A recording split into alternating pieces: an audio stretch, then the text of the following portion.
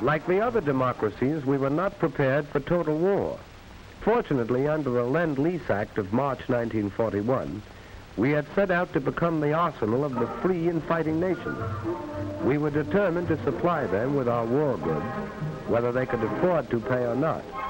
We were buying time.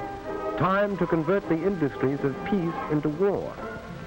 Time to make ships, merchant ships and warships.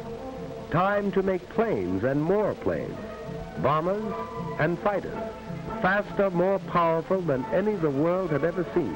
Time to make guns and more guns, shells and more shells, tanks and more tanks.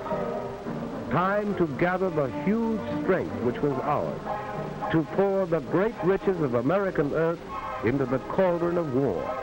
Iron, steel, oil, coal. Time to build a navy called upon to fight in both oceans and upon all the seas, to convoy men and weapons to Australia, to Britain, to the Middle East, to Russia. A navy that had already undertaken daring raids upon the Gilbert and Marshall Islands and braved Japanese waters and had taken a heavy toll of the invading forces in the Macassar Straits and had won the first battle in the Coral Sea. Time to expand a miniature professional army into a modern war machine. Time to take civilians gathered in a peacetime conscription while we were still debating. To mold them into soldiers. Train them in the use of new weapons, new tactics.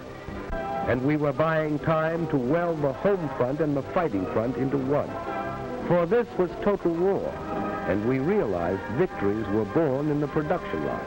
We needed more ships, more planes, more tanks, more guns, more shells.